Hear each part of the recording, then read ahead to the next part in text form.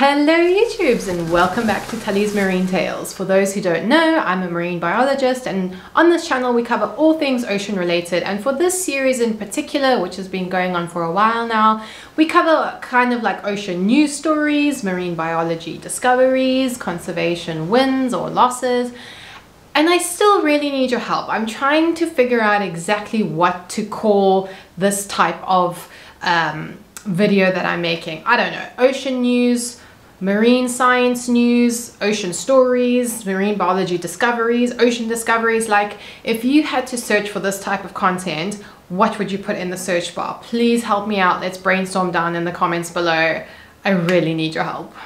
Now onto our first news story. It has one that's been doing the rounds and it's made it into all of the major news outlets and that's because anything to do with great white sharks always makes it into the news but even I will admit that this is a really cool story and it's about the first ever baby great white shark to be seen in the wild.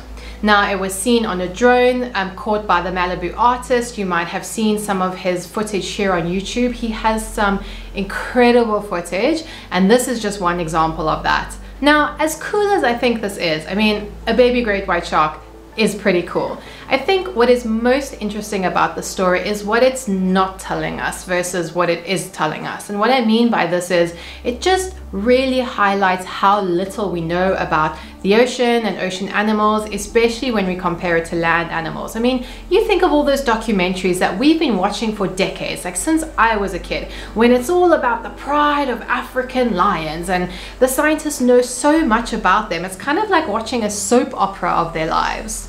And there goes Lucy, the lioness cub that was born exactly 172 days ago under the baobab tree that generations before her have been born under.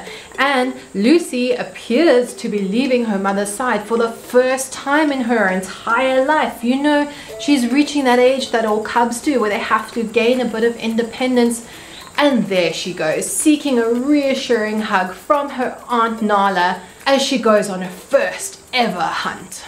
I mean, can you imagine if we had that kind of detail into how sharks live their lives?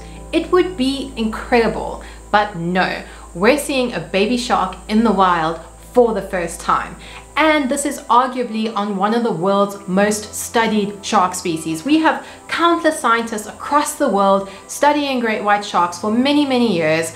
There are over 500 species of sharks and we know even less about the rest of them than we do about the great white shark. And I just, you know, sometimes I think to myself, I, I knew ever since I was a kid that I wanted to grow up and be a marine biologist and I remember sitting and thinking, oh, by the time I get there, you know, there's going to be nothing left for me to study because we're going to know it all.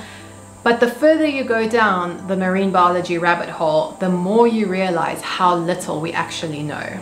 Anyway, it's a groundbreaking sighting from the Malibu artist. I have heard some murmurings from some scientists who are asking whether it's really, really, really, really, really a newborn great white shark, but I think the general consensus is that it is, and I think it's pretty convincing. You have this all white, really small great white shark. It's sloughing off some kind of stuff that is arguably its embryonic layer. So it's pretty convincing. It's really cool. It has conservation ramifications. You know, we need to know where these important habitats are for this vulnerable species. So very cool story. And perhaps you might not be convinced that a baby great white shark is cute, but I wanted to end off the story on what I think is a truly cute baby shark. It's a baby puff adder shy shark. It's an endemic species here in South Africa. It hatched out of an egg case that we saved off of the beach. And tell me, do you not think this is a really cute baby shark? Baby shark do do do do do baby shark do do do do do do baby shark do do do do do do baby shark now, our next story is still sharky, but we're going even bigger than the great white shark, and we're talking megalodon. Yes, it is extinct. No, there's no way it could still be swimming around in the deep ocean. Yes, it is 100% extinct. But this story is basically about fat shaming the megalodon. Now we don't really know exactly what the megalodon used to look like because we don't have a complete skeleton of a megalodon because Fun fact, a shark skeleton is made out of cartilage and not bone, which doesn't fossilize so well. So we only have a couple of vertebrae and teeth that paleontologists and scientists have used to reconstruct what they think the megalodon would have looked like. And as it currently stands, we have two competing research teams with two competing theories. And in the left corner of the ring, we have Cooper et al. leading the research team from the UK, getting into the ring first and landing the first punch, stating that the Megalodon would have been similar in shape to the great white shark. That is, to politely say, stocky, just on a much bigger scale. And in the right corner, we have Sternes et al. leading the research team from the USA landing a return punch stating that this is a silly idea because of how much space the vertebra would have needed for the megalodon. It would have been the dieting version of the great white shark, being a much slimmer and slender version. And back to Cooper et al. seemingly unfazed by the opposition, landing the final punch, stating that this is preposterous and that this proposal suffers from circular logic. Hyperbole aside, as much as science is a useful tool for understanding the world around us, it is by no means perfect and every now and then we do get a healthy scientific debate over a particular topic. Like, for example, whether the megalodon would have been stocky or slim. And in my personal opinion, I do feel that this debate is a little bit of a waste of time. Hot take, I know. Surely as a scientist, I should think that all lines of scientific inquiry are important. Well, when you're debating whether a long extinct species was stocky or slim, I don't really care. Do you guys care? Let me know down in the comments below. Now, I think the next story is much more interesting because while it still centers around controversy and a bit of debate, there is much more real world applicability and consequences to it. And it's a story about this last ditch attempt to save a dying ecosystem. Now, you guys all know that our coral reefs are in a lot of trouble. We've spoken about it on this channel. It's always in the news. We know climate change equals warming oceans equals coral bleaching equals coral dying. Um, but there is one system in particular that has had it quite bad, and those are the Caribbean coral reefs. Now, these reefs have been dying for decades. I think the estimate is something like 80% of them have died in the last two decades, so they're really in a lot of trouble. And the intense marine heat wave that they had in the region last year was almost kind of like a final nail in the coffin for these reefs. So scientists and conservationists are considering all ideas when it comes to trying to save these coral reefs. And recently a fairly controversial and radical idea has entered into the mix. And the idea involves sort of transplanting non-native corals from another part of the world that have been shown to be more resilient to heat and the effects of climate change into the Caribbean. Now, at first this might not seem so radical. I mean, if you have corals that can survive in the Caribbean and perform the same ecological role, I mean, surely that's a good thing, right?